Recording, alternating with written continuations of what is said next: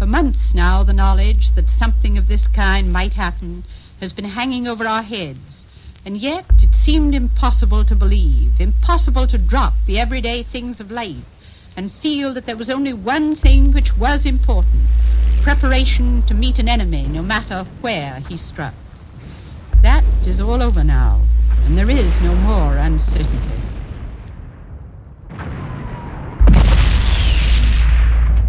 Yesterday, December 7th, 1941,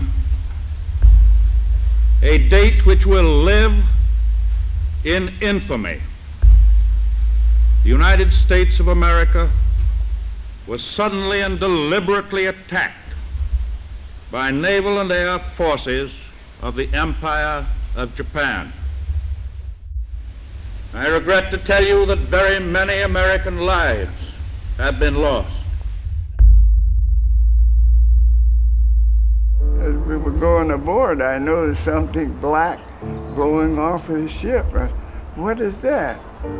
Must be the ashes of some person who burned down to the deck and now they're blowing out. What I'm going to do, I can't stop them. I just sort of sank down on my haunches. Picked up a whole bunch of the ashes, put it in a sea bag, sent it up to Red Hill. So I finally got to, I spent six weeks out there on the Arizona, took off bodies.